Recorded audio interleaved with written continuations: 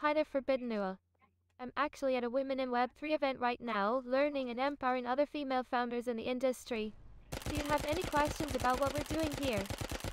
What in the fuck are we... What? How did you do this?